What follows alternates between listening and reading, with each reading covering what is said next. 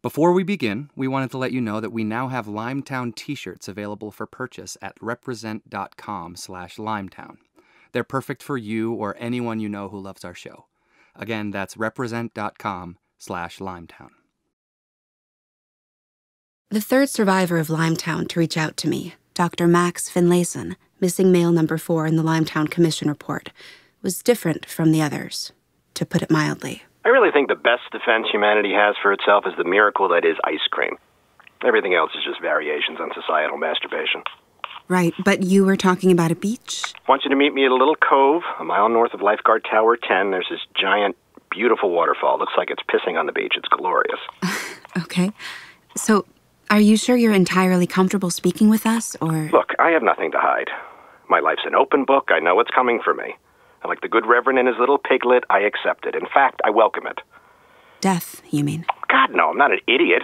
I just want the chance to not be sitting on my hands like I have for the past ten years, waiting for a bunch of masked mercenaries to bust down my door and stick a knife in me. I'm not the type of guy, Haddock. Frankly, it's been torture. Then why are you choosing to talk now? Wasn't time.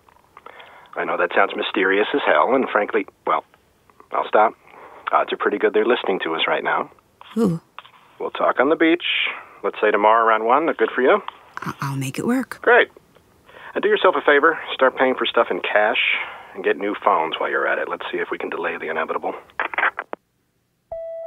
I do what he says. I start paying in cash, purchasing my airfare at the airport. I fly across the country, drive an hour and a half north from Arcata. I'm rerouted twice by massive wildfires eating up the drought stricken forests, losing precious time in the process. After an 18 hour journey, I park my rental car 40 minutes from the beach and walk. Sure enough, he's there. Alone.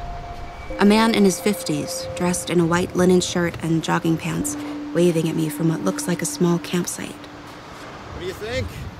Should we keep it? Waterfall, I mean. It looks like it's pissing on the sand, right? Uh, sure. First time I came here, I wasn't even walking yet. I don't think a single rock has moved. You want a Cliff Bar? I got a thermos full of coffee. You made it seem like we didn't have a lot of time to spare. Hence the coffee and a thermos. You look like hell. I'm just happy I found you. We'll see about that. Have a seat on my car cushion, Haddock. I can tell you aren't one for small talk, and I respect that. Max picked up a long, thin piece of beechwood and snapped it in half. In case I have the urge to illustrate. Now, I'm gonna move quickly, so if there's anything you don't get, just shout, okay? Do I get to ask questions? Of course you can ask questions. I was a professor for 12 years, for Christ's sake. Good. Because I have a lot of questions. Then I guess we better get started. And like that, Dr. Max Finlayson, the lead researcher in Limetown, a man no one has heard from in a decade, began to explain exactly what he and Oscar Totem had been working on, using nothing more than a stick in the sand. But let's step back for a moment and reset.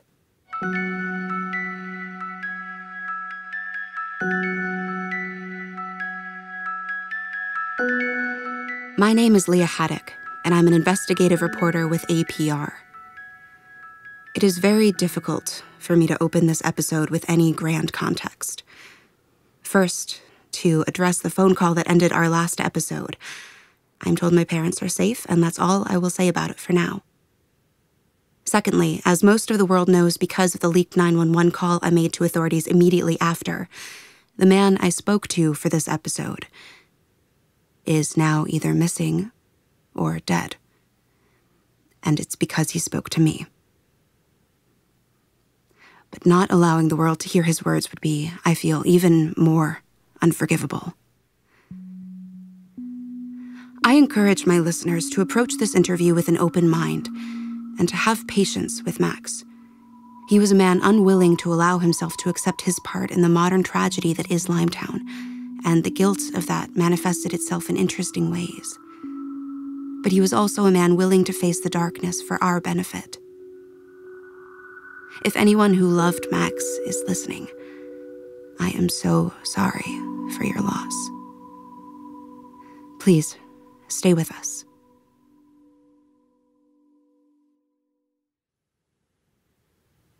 Before we get back to my conversation with Max, I'd like to address a small minority, those of you who have never heard of Dr. Max Finlayson.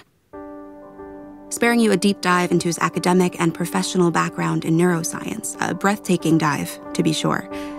Max has become more famous after the events of Limetown because of his connection to Oscar Totem, and because where there are voids in a story of great popular interest, society will fill it with something. Anything. For that, I'll turn it over to my producer Mark Green, our resident Dr. Finlayson expert. It's important to note that this audio is from a conversation we had in the hours leading up to my flight west. Hello, Mark. Thank you for this opportunity to geek out.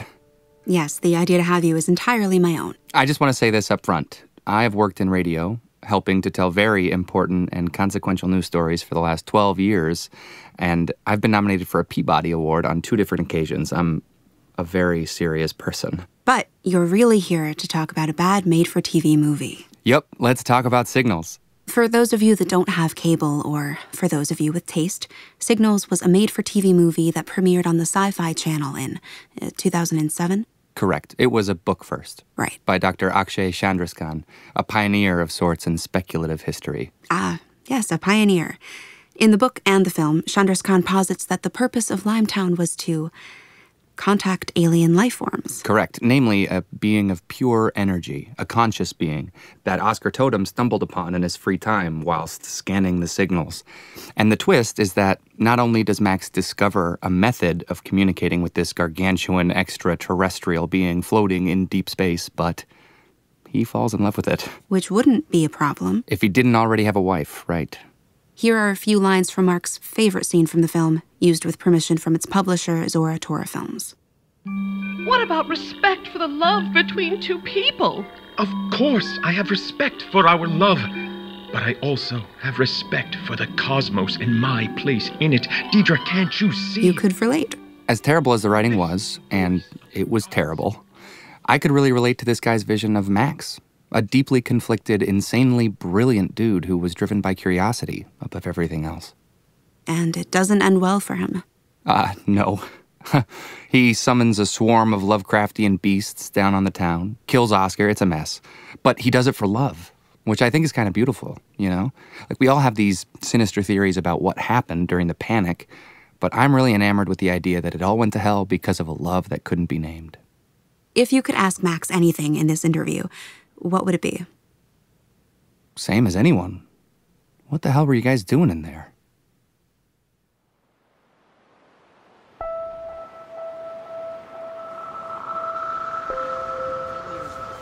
Back at the beach, Max stood over me, stick in hand, his $5 sunglasses still sporting the UV sticker on them. Let's start at the beginning of human history. How's that? So, since the dawn of mankind, we've been constantly trying to answer the same question how do I, Max, transmit an idea from my mind to yours, Lia, with the least information lost during dissemination? Language, the written word, the telegraph, telephone, television, the internet. These were our precursors. Precursors to what? Mind to mind communication. Zzz, the implant. See the scar? I see a line extending upward from your left ear.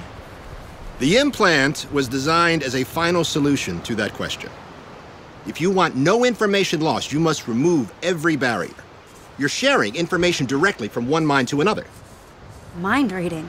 Reading implies work. This is a link. Imagine every child born is immediately implanted with a small metal pill the size of an aspirin, conductive on one side able to pick up the billions of electrical bursts that constitute human thought, decode them, and send that signal out to its brothers and sisters implanted elsewhere. You can only hear it if you have it. That's. Impressive is the word you're searching for. I was gonna say monstrous. Ah, well, had a 50 50 chance.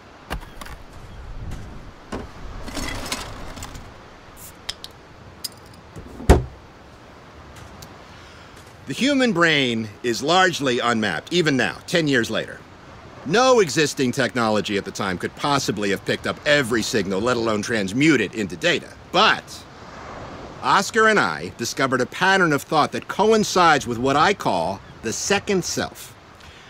When you see a beer, more often than not, your second self doesn't say, that is a beer. But when you're looking for a beer, when you're formulating the need to drink a beer, the word beer is in your mind. And right before you ask for a beer, your brain practices the sentence before you can express it, before your conscious mind is aware of it. In fact, hate to break it to you, but your conscious mind is usually the last to know. It usually discovers what you're doing with the rest of the world. So, what the implant does is it tunes into your subconscious, second self, and transmits it out into the world.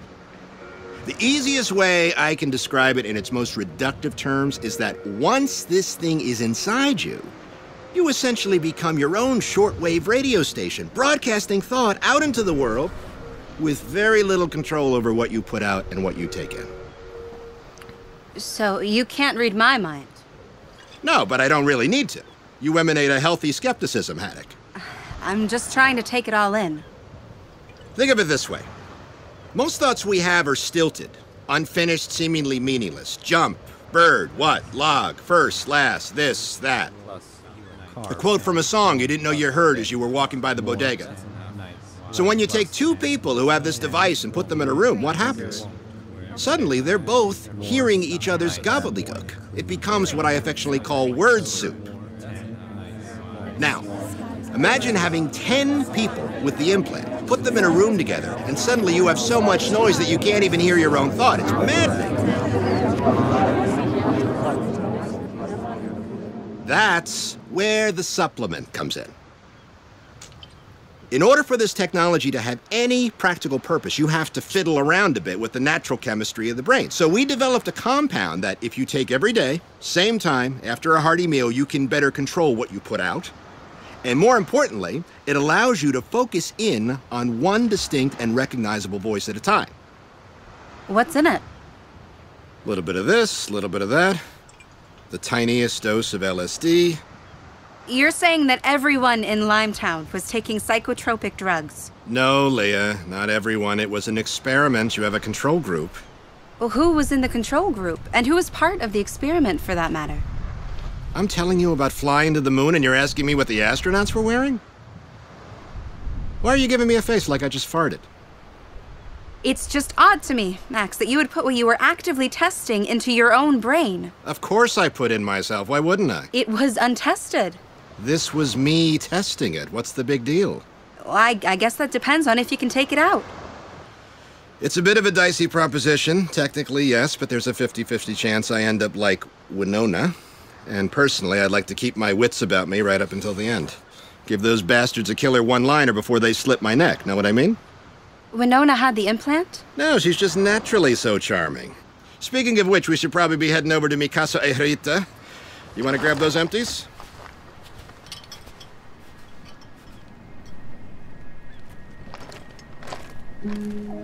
When we reached the top of the cliffs, Max turned around took off his sunglasses, and looked back on where we'd just come from, a mournful look on his face.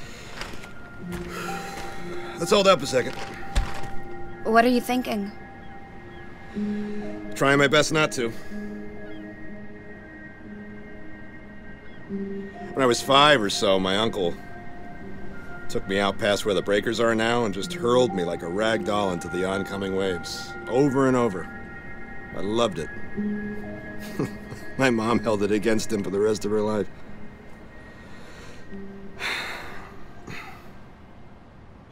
Want to follow me in your car? I don't think I'll be heading back this way.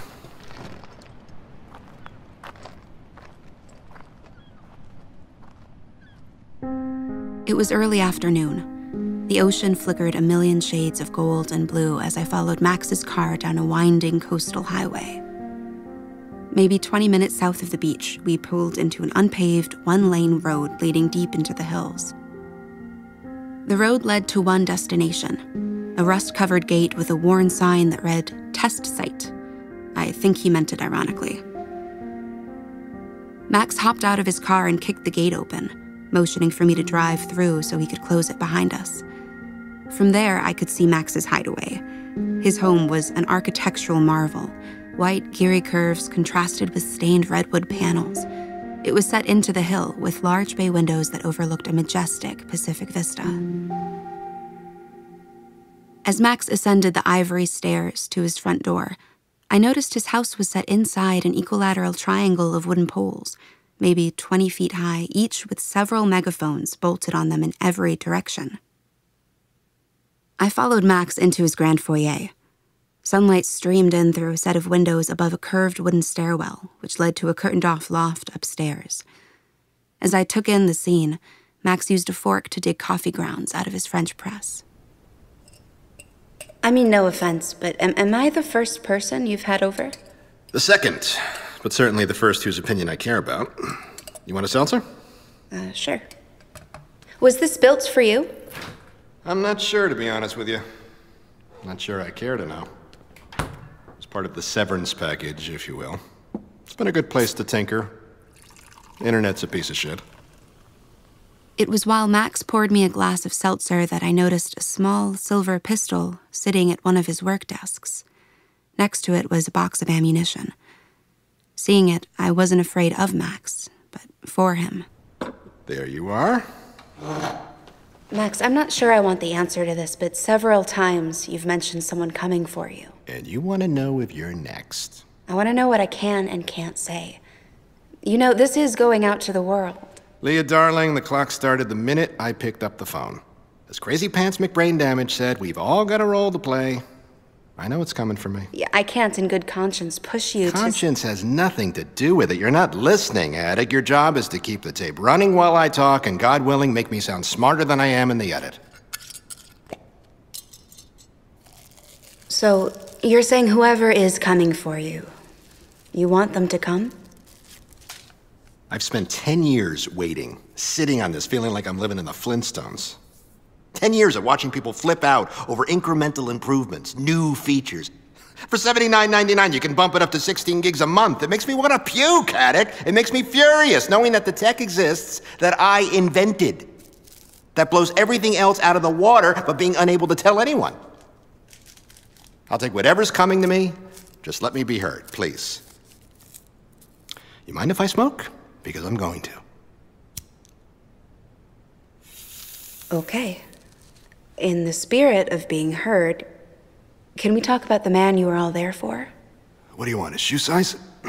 At this point, Forget about him, Haddock. The less said, the better. I can't tell if you hate him or you're protecting him. Both. Neither. He was the secret sauce, but I made the hamburgers. Next question, please. Max, you just said you were going to be an open book. Next question, please. Okay. Uh, Dr. Chambers talked about the advance from animal to human trials. Were you the first? Nope. Who was? Frank Banner was the first successful implant, Frankie B. Subject number one. So why him? So why not? Well, you're saying it was completely arbitrary? The first person you experimented on? We knew Frank was a decent human being with a genuinely happy disposition. We being you and Oscar. Frank was a good friend. He loved cats and knit sweaters. And he believed that what we were doing was going to change the world. And it could have. If they'd let us. So what went wrong?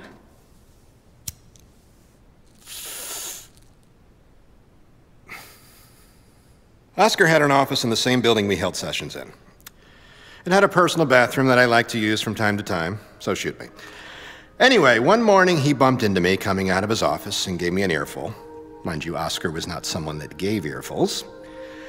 He was a very peaceful, guru-ish kind of guy. You've seen the tape.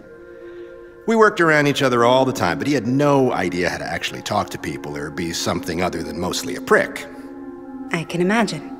So I apologize and leave him to his business, but I can't help but watch him from down the hallway through his door.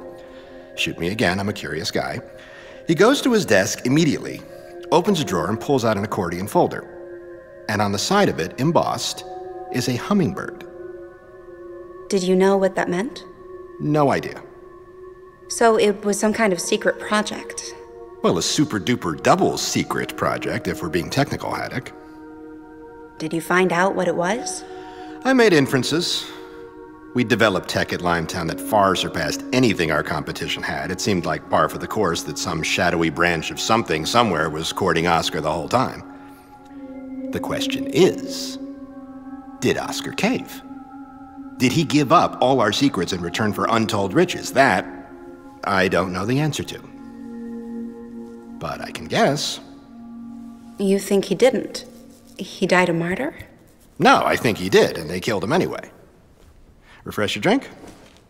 Before I could answer, Max had crossed the room to an old player piano. He took a seat on the bench. That's the price of doing business with evil people. I liked Oscar. I like working with someone with vision, but I don't mourn Oscar. I hate what happened to him, but you can't deny he made his bed. That's rather harsh. Better? I've had a lot of time to ruminate on it. My mind's made up. A lot of people died because of him. A lot of people suffered a lot. And then died because of him. I'm not saying he deserved to die, I'm really not. I'd like to know who killed him. Well, if you're asking me to name names, you'll have to excuse me, I need to draw a bath. Why not? For your safety, Haddock? The truth is, I don't really know. It was a panic. I don't believe you. You weren't there. People were wearing masks. Structures were on fire. I was being held at gunpoint. A lot of things were happening at once. And the sound. But you had a mental connection to Oscar, right? The way that you described the implant, it, it seems like it'd be impossible not to know what he was going through. Am I wrong?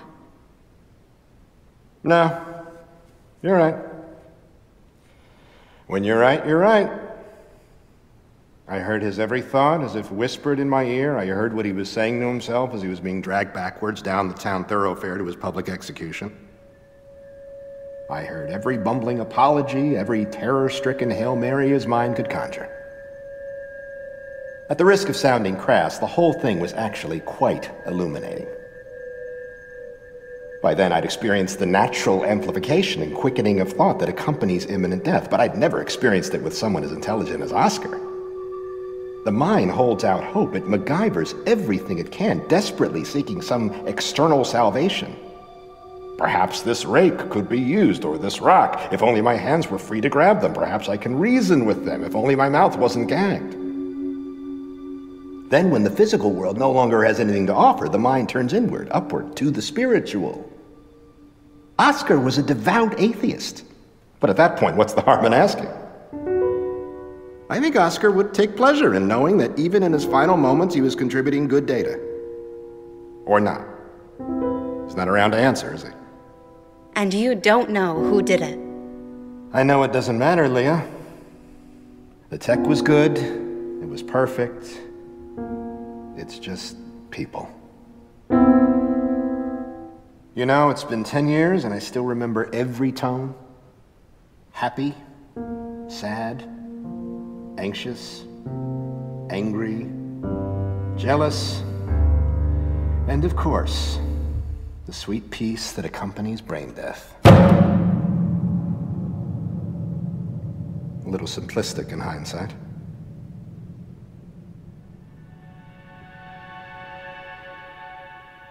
As we walked down the front steps of his hideaway together, his hands in his pockets, mine gripping the recorder for dear life, I was overcome with the same feeling I had when I left Winona at the motel a feeling of gratefulness. But also, like Winona, like the Reverend, the paranoia around every aspect of Revelation told me more than almost anything actually spoken. Okay, I have one last question. I'm not giving you my phone number, so stop asking. I actually wrote mine on a pad in your kitchen. What was your question? What are those for? I pointed to the megaphones bolted to the wooden poles. When you have an implant in your brain that allows you to hear what I can hear, you tend to trust your intuition more. I have this feeling, a sense of a darkness that moves. Sometimes it's near, sometimes I go months without feeling it, but I never don't feel it. Never. And since I reached out to you, I really feel it, and it's getting closer. So, I built those with the hope that I can maybe put up a fight or something. Who knows? What do they do? Layman's terms, they emit a very loud tone. I've done some studies on myself that show that at the right decibel level, that tone can really mess with the implant. The theory is that if I ever get cornered, I can just flip those suckers on and slip into the night. Hope you never test that theory. It was nice meeting you, Lia. Safe travels home.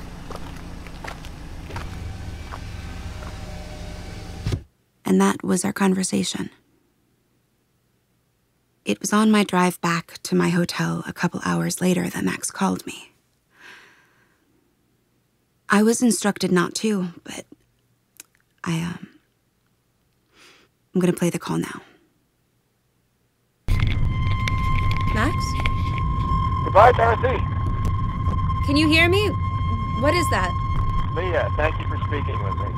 Max, I can barely hear you. Is someone there with you?